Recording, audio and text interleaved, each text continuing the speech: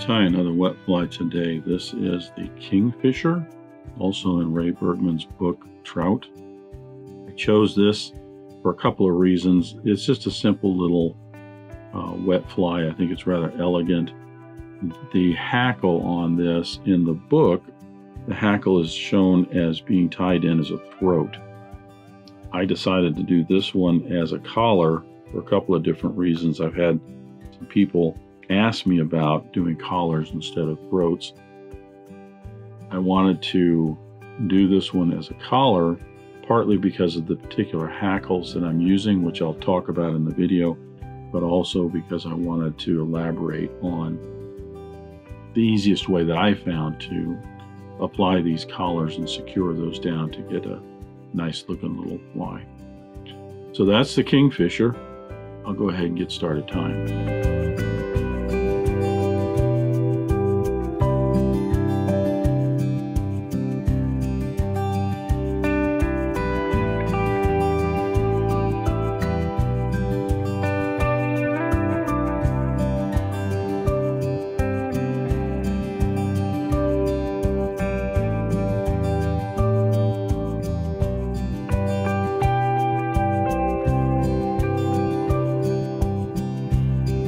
Start the Kingfisher by placing my hook in the vise. This is a Mustad 3399 in a size 6.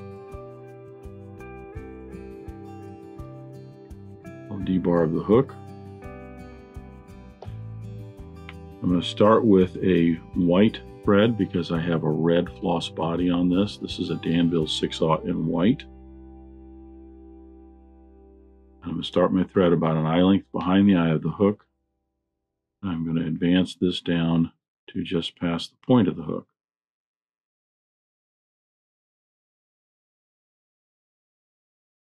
There is a tip on the Kingfisher. I'm using a Danville's uh, Mylar tinsel. This is a silver and gold Mylar tinsel in a size 14. Labels off of it, but that's what I'm using for the tip as well as the rib. This is a little bit larger hook, so I'll go with the larger tinsel. I'm going to tie this in with the silver side up. Advance down the hook shank about four wraps, back up one. I generally like the tip to begin right just past the point of the hook. That's just me. Put four wraps down and then four wraps back up.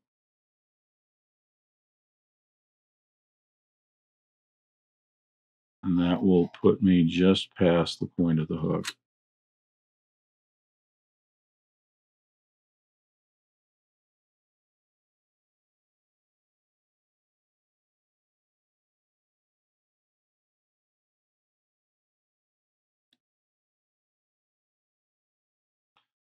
Tail on the kingfisher is some golden pheasant tippet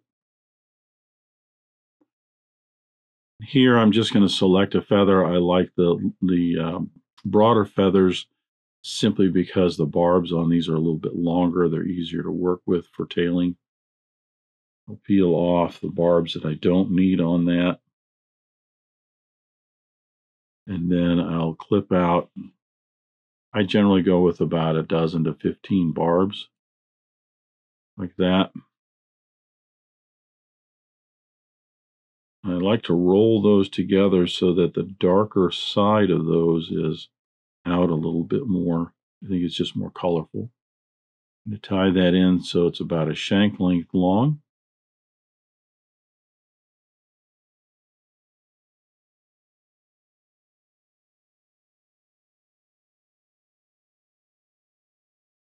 Trim away the excess. I want that the length of the body. The body is, oh, as I mentioned, the rib. I got to tie in. This is the same number 14 silver gold mylar tinsel.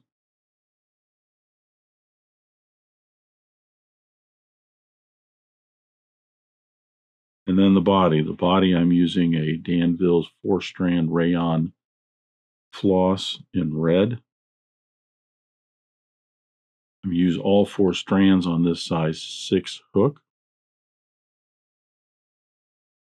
I'm going to attach that in so that the ends are just the length of the body. And then I will wrap this all in. I want to make certain I have this wrapped all the way down right to the beginning of that tip. I don't want any thread wraps showing right through here when that floss starts to get wrapped on. I'll wrap all this down to make a smooth underbody. I'll apply the floss for the body and the rib in five even spaced wraps, and then we will get to the wing and the hackle.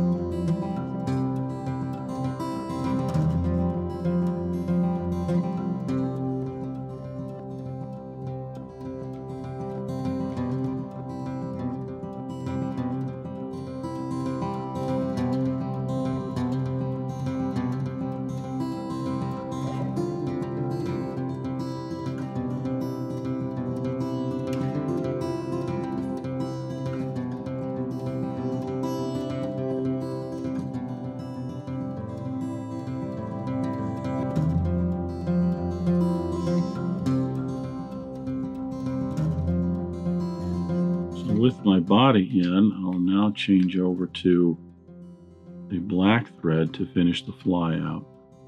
I'm using a Danville. This is again a 6-aught Danville in black. Get a little bit of wax on my thread.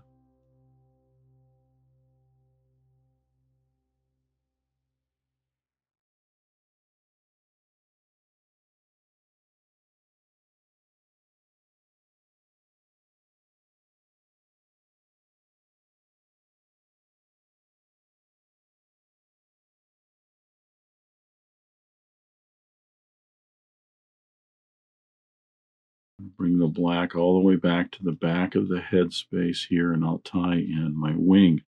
The wing on the Kingfisher is a mallard flank. I'm just going to take a nice, fairly even feather here that's fairly full. And I'm going to clip out the center portion like this.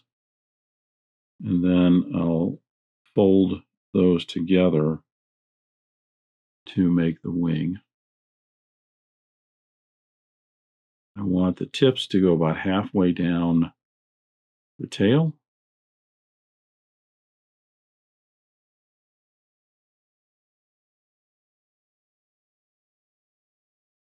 Few wraps to secure that and we can take a look. That's turned out pretty good. I'll trim away the excess.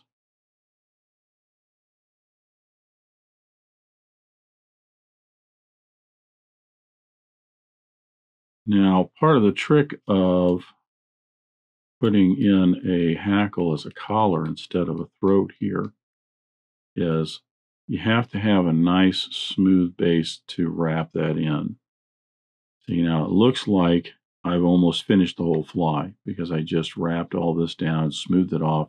Actually, it looks like I made the head to the fly. In a, a certain sense, I guess I did, but I have a nice smooth area here now to wrap that hackle in to make the collar. And that's going to make all the difference. For the collar, I'm using, this is a neck that I've got here. It's kind of a badger neck. The interesting thing is the centers of these aren't fully black, so it's not like a true badger hackle. I'm going to select a fairly full feather. I want one where the barbs, which the ones closer to the end of it, the bottom of it here, these are going to be the ones, the longest ones. And I want those to be about from the eye of the hook to the point of the hook.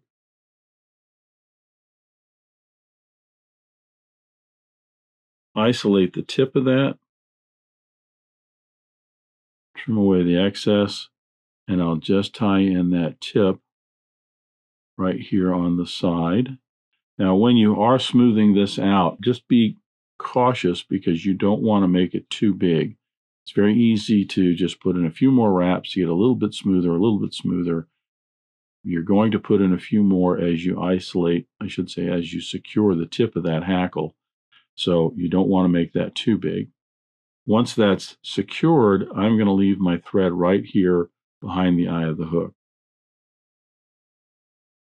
Grab my hackle pliers, now I'm going to wrap in that collar. And fold some of these back. It just helps in the process that you don't get a lot pointing forward and trapped. Only going to get three to four wraps maybe of this. I don't want it too full. See, by having that nice smooth area, I can get these wrapped one wrap right in front of the other and they just go in nice and smooth. The rachis isn't uh, popping off or dropping down anywhere.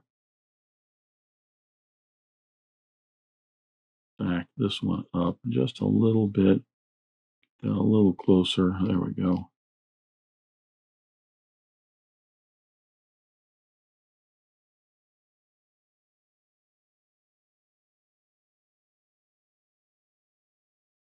Some of those barbs pulled back. You're going to end up with your last wrap coming right up here behind the eye of the hook, right behind it. And the reason for that is that we're going to secure that in, fold all of this back, and then we're going to start to create the head. We're going to use the head of the fly to secure that in as well as trap those barbs in a rearward direction. And we don't want to make that too big. Once I have that secured, I can then pop the rest of this right off. I'll flatten my thread. Let me just double check Always keep thread tension.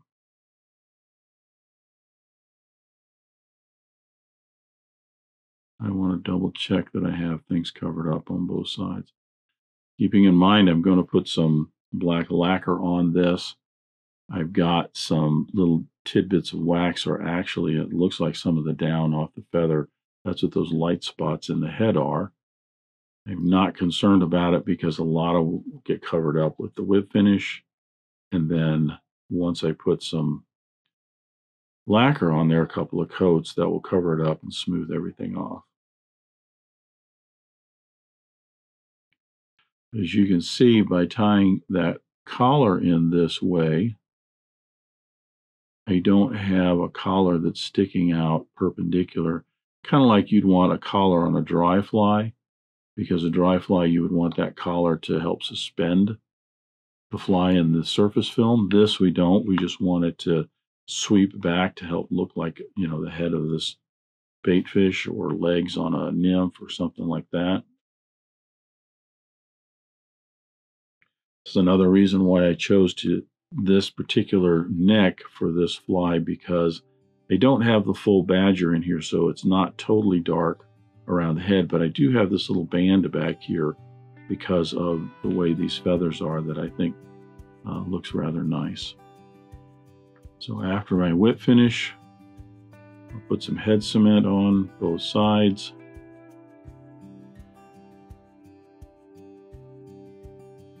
I'll come back in a little bit and put some black lacquer on that, and that will complete the Kingfisher. I just thought it was a handsome little fly. It'll be interesting to swing this later on this fall, maybe even in some colder water. It's a fun little wet fly. It's pretty basic and simple. It's a nice one to work on your mallard flank wings if you want, as well as, as I mentioned, work on doing a collar instead of a throat on your wet flies.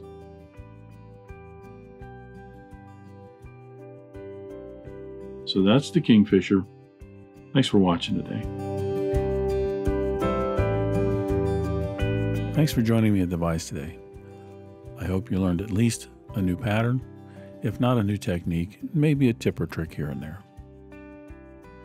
If you have any questions about this fly or any of the techniques used in constructing this pattern, please leave them in the comments section down below. If you go to the trouble to ask a question, I'll go to the trouble to answer it. If you'd like to help dressed irons, please share this video with your friends and anybody you think that might enjoy this pattern. Until next time, remember, it's fly tying. If you're not having fun, then you're doing it wrong.